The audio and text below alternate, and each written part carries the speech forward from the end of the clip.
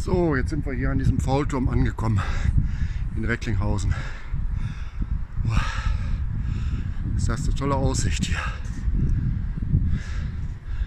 Kleinen Rundumblick. Das war eine ehemalige Kläranlage hier in Recklinghausen. Puh. Schöne Rundumsicht.